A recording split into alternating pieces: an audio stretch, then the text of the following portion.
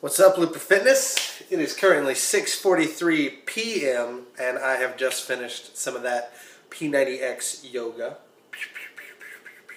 It felt good. Um, I actually really felt like I was pushing myself in yoga today, and it's funny because I'm kind of on the tail end of a cold, but uh, it felt really good to get it done. Um, big shout out to my coworker Jonathan, uh, John Allen, for you guys in Luper Fitness. Um, he is doing P90X yoga for the first time tonight. I told him, you, you've done ab ripper and you hear I hate it, but I love it. By the end of, after you do yoga X a couple times, you're to understand. So, anyway, uh, guys, have an awesome day uh, or an awesome night. Um, hopefully, uh, I'll be able to wake up. Well, I will wake up in the morning, bust out some legs and back before heading off to work on Friday. And I will see you tomorrow.